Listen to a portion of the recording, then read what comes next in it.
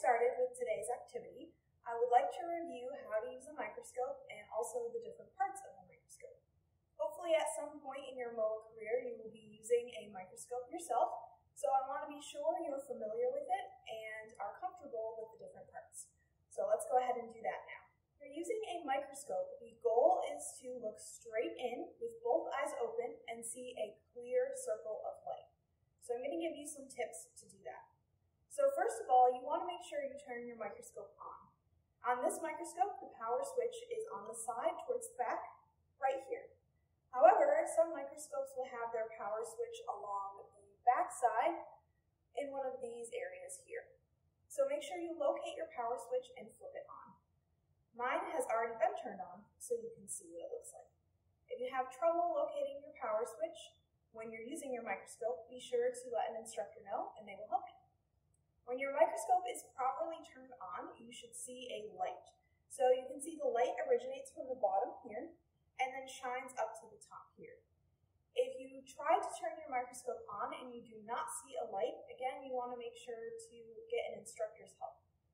So once your microscope is turned on and you can see the light, you're ready to make some adjustments. Now the first thing you want to do is make sure your microscope is positioned on the table in a way that's comfortable to you.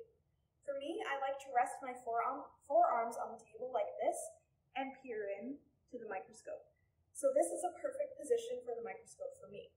But depending on your height and stature, you may want to move the microscope closer or further away from you so it's comfortable. Once your microscope is at a good spot on the table, you're ready to adjust the oculars or eyepieces, which you can see here. So what you can do is move the oculars apart or together, depending on how far apart your eyes are. For me, right here is perfect. I can see a clear circle of light while keeping both of my eyes open. So now you're ready to add a slide to your microscope if it isn't already there. So I can show you how to do this. We have a slide here, and we want to put it on our stage. This part of the microscope is the stage, and there's also a clip that will allow you to secure the slide into place. So you want to open up the clip, slide in the slide, and then close the clip. So you'll notice it's secure. It's not going to move around uh, while it's on the stage. But of course, you want to make sure your slide is in the right position to see the specimen. To do that, there are two knobs on the side of the microscope that will allow you to move the slide back and forth or closer and further away. So once your slide is secure in the clips, you want to look into your microscope and adjust the slide until it's right above the light. You can also do this by simply looking at the slide on the stage. Normally these slides have a circle, and that is where your specimen is going to be located. All right, so once you have your slide clipped in and you're familiar with the knobs that allow you to move the slide, you're ready to adjust your magnification so you can actually see what's under the scope. So for that, you have two knobs here that you can use. This big knob, this is called the coarse adjustment, and this is the fine adjustment.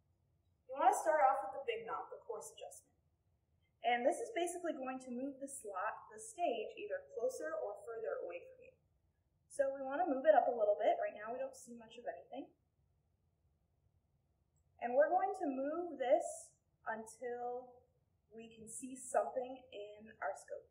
Okay, so I just started to see what looks to me like blurry purple circles. So once we've gotten to that point, we can stop with the big coarse knob. From here, we probably would like to use the fine knob. Basically, the coarse knob is what you would like to use if you can't see anything at all under your microscope. Once you can see something, but it might be a little blurry, then it's time to switch over to your fine knob to bring it into focus. So we're just going to twist this fine knob and now we have our specimen in focus. So now that we can see our specimen under the microscope, we may want to have a higher magnification to see it up closer. To do that, we're going to switch our objectives. These are the objectives that control the magnification. Typically, when you come over to Harbor Branch, these objectives will already be put into the position that you need. However, if you would like to change your objective or magnification while at Harbor Branch, be sure to inform an instructor and they will help you. It can be really difficult to change the objective on the microscope without damaging it unless you really know what you're doing. So I'm going to show you now what that looks like, but again, when you're at Harbor Branch, make sure you get an instructor to help you change your obje objectives. So we're going to switch over to our yellow objective. And this is 10 times magnification. So let's go ahead. When you switch objectives, you're going to have to adjust your focus a small bit. So now you can see we have a little bit of a better view, a closer view of our specimen. Let's go to a higher power and to a higher magnification. The Blue objective here has 40 times magnification, so four times the magnification of our last yellow objective. Let's take a look. So now we see our specimen up much closer. This last objective here I'm not going to switch to right now. This ob objective is actually used with oil, and the oil basically acts as a bridge between the objective and the slide itself, so everything is all connected together.